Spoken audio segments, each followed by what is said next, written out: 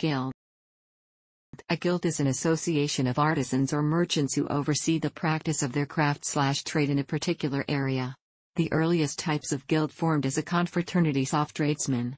They were organized in a manner something between a professional association, a trade union, a cartel, and a secret society. They often depended on grants of letters patent from a monarch or other authority to enforce the flow of trade to their self employed members, and to retain ownership of tools and the supply of materials. A lasting legacy of traditional guilds are the guild halls constructed and used as guild meeting places. Guild members found guilty of cheating on the public would be fined or banned from the guild. An important result of the guild framework was the emergence of universities at Bologna, established in 1088, Oxford, at least since 1096, and Paris, circa 1150, they originated as guilds of students, as at Bologna, or of masters, as at Paris.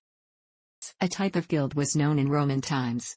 Known as collegium, collegia or corpus, these were organized groups of merchants who specialized in a particular craft and whose membership of the group was voluntary. One such example is the Corpus Naviculariorum, the college of long-distance shippers based at Rome's La Ostia port. The Roman guilds failed to survive the collapse of the Roman Empire. In medieval cities, craftsmen tended to form associations based on their trades, confraternities of textile workers, masons, carpenters, carvers, glass workers, each of whom controlled secrets of traditionally imparted technology, the arts or mysteries of their crafts. Usually the founders were free independent master craftsmen who hired apprentices. There were several types of guilds, including the two main categories of merchant guilds and craft guilds but also the Frith Guild and Religious Guild. Guilds arose beginning in the High Middle Ages as craftsmen united to protect their common interests. In the German city of Augsburg craft guilds are being mentioned in the town charter of 1156. The continental system of guilds and merchants arrived in England after the Norman conquest, with incorporated societies of merchants in each town or city holding exclusive rights of doing business there. In many cases they became the governing body of a town. For example, London's Guildhall became the seat of the Court of Common Council of the City of London Corporation, the world's oldest continuously elected local government whose members to this day must freemen of the city. The freedom of the city, effective from the Middle Ages until 1835, gave the right to trade, and was only bestowed upon members of a guild or livery. Early egalitarian communities called guilds, for the gold deposited in their common funds, were denounced by Catholic clergy for their conjurations the binding oaths sworn among the members to support one another in adversity, kill specific enemies, and back one another in feuds or in business ventures. The occasion for these oaths were drunken banquets held on December 26, the pagan feast of July, Yule, in 858, West Francian bishop Hincmar sought vainly to Christianize the guilds. In the early Middle Ages, most of the Roman craft organizations, originally formed as religious confraternities, had disappeared, with the apparent exceptions of stonecutters and perhaps glassmakers, mostly the people that had local skills. Gregory of Tours tells a miraculous tale of a builder whose art and techniques suddenly left him, but were restored by an apparition of the Virgin Mary in a dream. Michel Rouche remarks that the story speaks for the importance of practically transmitted journeymanship. In France, guilds were called corps de métiers. According to Victor Ivanovich Rutenberg, within the guild itself there was very little division of labor, which tended to operate rather between the guilds. Thus, according to Etienne Boileau's Book of Handicrafts, by the mid-13th century there were no less than 100 guilds in Paris, a figure which by the 14th century had risen to 350. There were different guilds of metalworkers, the farriers, knife makers, locksmiths, chain forgers, nail makers, often formed separate and distinct corporations. The armorers were divided into helmet makers, escutcheon makers, harness makers, harness polishers, etc. in Catalan towns, especially at Barcelona. Guilds or gremis were a basic agent in the society. A shoemaker's guild is recorded in 1208. In England, specifically in the City of London Corporation, more than 110 guilds, referred to as livery companies, survive today, with the oldest more than a thousand years old. Other groups, such as the Worshipful Company of Tax Advisors, have been formed far more recently. Membership in a livery company is expected for individuals participating in the governance of the city, as the Lord Mayor and the Remembrancer. The guild system reached a mature state in Germany circa 1300 and held on in German cities into the 19th century, with some special privileges for certain occupations remaining today. In the 15th century, Hamburg had 100 guilds, Cologne 80, and Lübeck 70. The latest guilds to develop in Western Europe were the of Spain for example, Valencia, 1332, or Toledo, 1426. Not all city economies were controlled by guilds, some cities were free.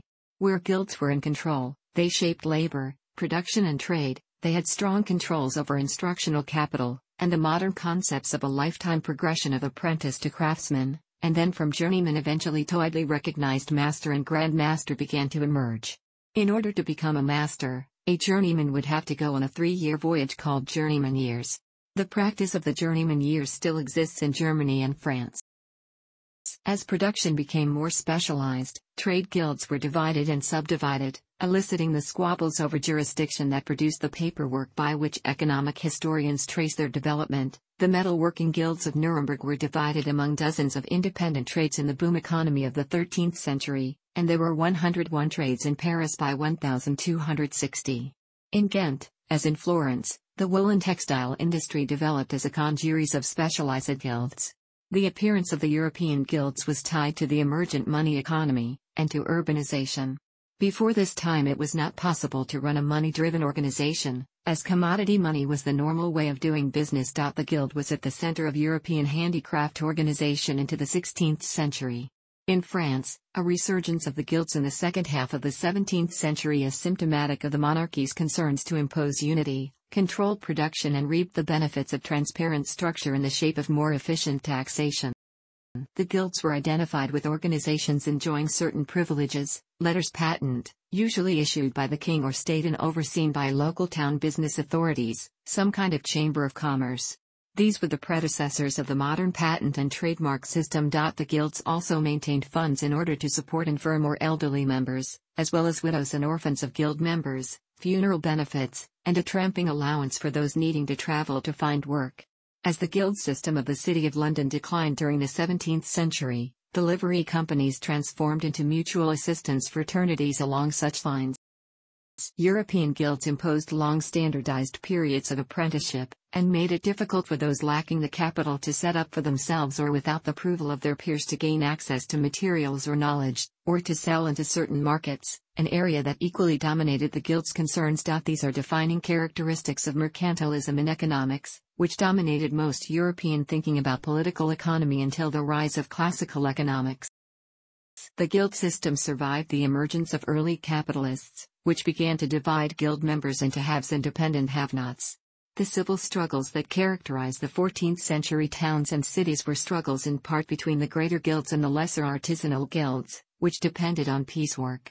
In Florence, they were openly distinguished, the Arti Maggiori and the Arti Minori already there was a Popolo Grosso and a Popolo Magro. Fiercer struggles were those between essentially conservative guilds and the merchant class, which increasingly came to control the means of production and the capital that could be ventured in expansive schemes, often under the rules of guilds of their own. German social historians trace the Zunftrevolution, the urban revolution of guild members against a controlling urban patriciate, sometimes reading in Totham, however, perceived foretastes of the class struggles of the 19th century. In the countryside, where guild rules did not operate, there was freedom for the entrepreneur with capital to organize cottage industry, a network of cottagers who spun and wove in their own premises on his account, provided with their raw materials, perhaps even their looms, by the capitalist who took a share of the profits. Such a dispersed system could not so easily be controlled where there was a vigorous local market for the raw materials, wool was easily available in sheep rearing regions, whereas silk was not. In Florence, Italy, there were 7 to 12 greater guilds and 14 lesser guilds. The most important of the greater guilds was that for judges and notaries, who handled the legal business of all the other guilds and often served as an arbitrator of disputes. Other greater guilds include the wool, silk, and the money changers guilds. They prided themselves on a reputation for very high quality work, which was rewarded with premium prices. The guilds fined members who deviated from standards. Other greater guilds included those of doctors, druggists, and furriers. Among the lesser guilds were those for bakers, saddle makers, iron workers, and other artisans. They had a sizable membership, but lacked the political and social standing necessary to influence city affairs. The guild was made up by experienced and confirmed experts in their field of handicraft. They were called master craftsmen. Before a new employee could rise to the level of mastery, he had to go through a schooling period during which he was first called an apprentice. After this period, he could rise to the level of journeyman. Apprentices would typically not learn more than the most basic techniques until they were trusted by their peers to keep the guild's or company's secrets. Like journey, the distance that could be traveled in a day, the title journeyman derives from the French words for day, jour and journée, from which came the Middle English word journée. Journeymen were able to work for other masters, unlike apprentices, and generally paid by the day and were thus day laborers. After being employed by a master for several years, and after producing a qualifying piece of work, the apprentice was granted the rank of journeyman and was given documents, letters or certificates from his master and or the guild itself, which certified him as a journeyman and entitled him to travel to other towns and countries to learn the art from other masters. These journeys could span large parts of Europe and were an unofficial way of communicating new methods and techniques, though by no means all journeymen made such travels, they were most common in Germany and Italy, and in other countries journeymen from small cities would often visit the capital. After this journey and several years of experience, a journeyman could be received as master craftsman, though in some guilds this step could be made straight from apprentice. This would typically require the approval of all masters of a guild, a donation of money and other goods, often emitted for sons of existing members, and the production of a so-called masterpiece, which would illustrate the abilities of the aspiring master craftsman. This was often retained by the guild.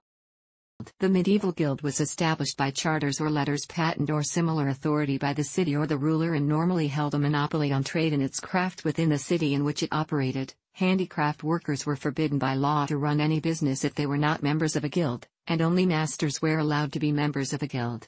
Before these privileges were legislated, these groups of handicraft workers were simply called handicraft associations. The town authorities might be represented in the guild meetings and thus had a means of controlling the handicraft activities. This was important since towns very often depended on a good reputation for export of a narrow range of products, on which not only the guilds, but the town's reputation depended.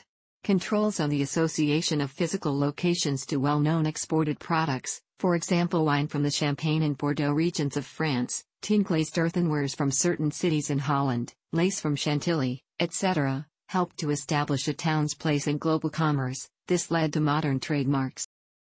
In many German and Italian cities, the more powerful guilds often had considerable political influence, and sometimes attempted to control the city authorities. In the 14th century, this led to numerous bloody uprisings, during which the guilds dissolved town councils and detained patricians in an attempt to increase their influence. In 14th century northeast Germany, people of Wendish, i.e. Slavic, origin were not allowed to join some guilds. According to Wilhelm Raabe, down into the 18th century no German guild accepted a Wend. As Ogilvie, 2004, shows, the guilds negatively affected quality, skills, and innovation.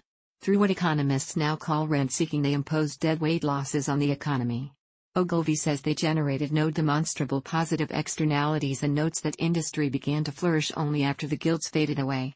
Guilds persisted over the centuries because they redistributed resources to politically powerful merchants.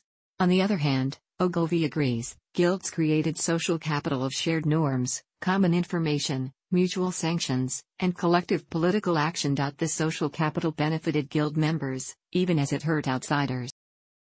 The guild system became a target of much criticism towards the end of the 18th century and the beginning of the 19th century. They were believed to oppose free trade and hinder technological innovation, technology transfer, and business development. According to several accounts of this time, guilds became increasingly involved in simple territorial struggles against each other and against free practitioners of their arts. Two of the most outspoken critics of the guild system were Jean-Jacques Rousseau and Adam Smith, and all over Europe a tendency to oppose government control over trades in favor of laissez-faire free market systems was growing rapidly and making its way into the political and legal system. The French Revolution saw guilds as the last remnant of feudalism. The Le Chapelier Law of 1791 abolished the guilds in France. Smith wrote in The Wealth of Nations, Book I, Chapter 10, Paragraph 72. Karl Marx in his Communist Manifesto also criticized the guild system for its rigid gradation of social rank and the relation of oppressor-slash-oppressed entailed by this system. From this time comes the low regard in which some people hold the guilds to this day. In part due to their own inability to control unruly corporate behavior, the tide turned against the guilds. Because of industrialization and modernization of the trade and industry, and the rise of powerful nation states that could directly issue patent and copyright protections, often revealing the trade secrets, the guild's power faded. After the French Revolution they fell in most European nations through the 19th century, as the guild system was disbanded and replaced by free trade laws. By that time, many former handicraft workers had been forced to seek employment in the emerging manufacturing industries, using not closely guarded techniques but standardized methods controlled by corporations. Guilds are sometimes said to be the precursors of modern trade unions. Guilds, however, can also be seen as a set of self-employed skilled craftsmen with ownership and control over the materials and tools they needed to produce their goods. Guilds were more like cartels than they were like trade unions, Olson 1982. However, the journeyman organizations, which were at the time illegal, may have been influential. The exclusive privilege of a guild to produce certain goods or provide certain services was similar in spirit and character with the original patent systems that surfaced in England in 1624. These systems played a role in ending the guild's dominance, as trade secret methods were superseded by modern firms directly revealing their techniques, and counting on the state to enforce their legal monopoly. Some guild traditions still remain in a few handicrafts, in Europe especially among shoemakers and barbers. Some ritual traditions of the guilds were conservative order organizations such as the Freemasons, allegedly deriving from the Masons Guild, and the Oddfellows, allegedly derived from various smaller guilds. These are, however, not very important economically except as reminders of the responsibilities of some trades toward the public. Modern antitrust law could be said to derive in some ways from the original statutes by which the guilds were abolished in Europe. The economic consequences of guilds have led to heated debates among economic historians. On the one side, scholars say that since merchant guilds persisted over long periods, they must have been efficient institutions, since inefficient institutions die out. Others say they persisted not because they benefited the entire economy but because they benefited the owners, who used political power to protect them. Ogilvie, 2011, says they regulated trade for their own benefit, were monopolies, distorted markets, fixed prices, and restricted entrance into the guild. Ogilvie, 2008, argues that their long apprenticeships were unnecessary to acquire skills, and their conservatism reduced the rate of innovation and made the society poorer. She says their main goal was rent seeking, that is, to shift money to the membership at the expense of the entire economy. Epstein and Prak's book, 2008, rejects Ogilvie's conclusions. Specifically, Epstein argues that guilds were cost-sharing rather than rent-seeking institutions. They located and match masters and likely apprentices through monitored learning. Whereas the acquisition of craft skills required experience-based learning, he argues that this process necessitated many years in apprenticeship. The extent to which guilds were able to monopolize markets is also debated. For the most part, medieval guilds limited women's participation, and usually only the widows and daughters of known masters were allowed in. Even if a woman entered a guild, she was excluded from guild offices. It's important to note that while this was the overarching practice, there were guilds and professions that did allow women's participation, and that the medieval era was an ever changing, mutable society, especially considering had it spanned hundreds of years and many different cultures. There were multiple accounts of women's participation in guilds in England and the continent. In a study of London silk women of the 15th century by Marian K. Dale, she notes that medieval women could inherit property, belong to guilds, manage estates, and run the family business if widowed. The Livre des Métiers de Paris, Book of Trades of Paris, was compiled by Etienne Boileau, the Grand Provost of Paris under King Louis IX. It documents that 5 out of 110 Parisian guilds were female monopolies, and that only a few guilds systematically excluded women. Boileau notes that some professions were also open to women, surgeons, glassblowers, chainmail forgers. Entertainment guilds also had a significant number of women members. John, Duke of Berry documents payments to female musicians from Le Puy, Lyons, and Paris. Women did have problems with entering healers' guilds, as opposed to their relative freedom in trade or craft guilds. Their status in healers' guilds were often challenged. The idea that medicine should only be practiced by men was supported by the Catholic Church, royal heads, and secular authorities at the time. It is believed that the Inquisition and witch hunts throughout the ages contributed to the lack of women in medical guilds. Scholars from the history of ideas have noticed that consultants play a part similar to that of the journeymen of the guild systems, they often travel a lot, work at many companies and spread new practices and knowledge between companies and corporations. Professional organizations replicate guild structure and operation. Professions such as architecture, engineering, geology, and land surveying require varying lengths of apprenticeships before one can gain a professional certification. These certifications hold great legal weight, most states make them a prerequisite to practicing there. Thomas W. Malone champions a modern variant of the guild structure for modern e-lancers, professionals who do mostly telework for multiple employers. Insurance including any professional liability, intellectual capital protections, an ethical code perhaps enforced by peer pressure and software, and other benefits of a strong association of producers of knowledge, benefit from economies of scale, and may prevent cutthroat competition that leads to inferior services undercutting prices. And, as with historical guilds, such a structure will resist foreign competition.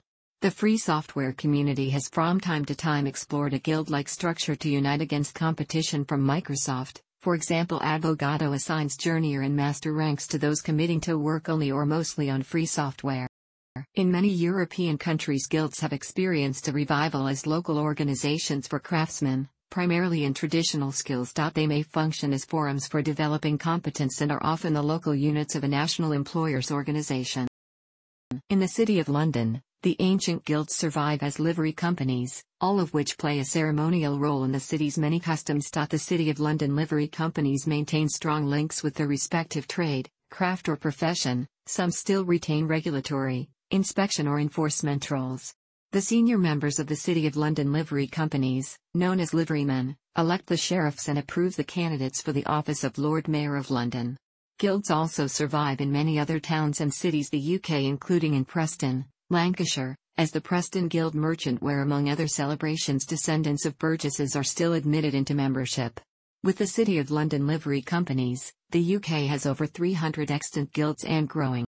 In 1878 the London Livery Companies established the City and Guilds of London Institute the forerunner of the engineering school, still called City and Guilds College, at Imperial College London.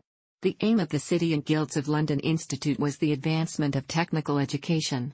City and Guilds operates as an examining and accreditation body for vocational, managerial and engineering qualifications from entry-level craft and trade skills up to postdoctoral achievement. A separate organization, the City and Guilds of London Art School has also close ties with the London Livery Companies and is involved in the training of master craft workers in stone and wood carving, as well as fine artists. In Germany there are no longer any Zunft, or Gilden, the terms used were rather different from town to town, nor any restriction of a craft to a privileged corporation. However, under one other of their old names albeit a less frequent one, Innungen, Guilds continue to exist as private member clubs with membership limited to practitioners of particular trades or activities. These clubs are corporations under public law, albeit the membership is voluntary. The president normally comes from the ranks of master craftsmen and is called Obermeister, master in chief. Journeymen elect their own representative bodies, with their president having the traditional title of Altgesell, senior journeyman. There are also craft chambers, Handwerkskammern, which have less resemblance to ancient guilds in that they are organized for all crafts in a certain region, not just one. In them membership is mandatory, and they serve to establish self-governance of the crafts. In the United States guilds exist in several fields.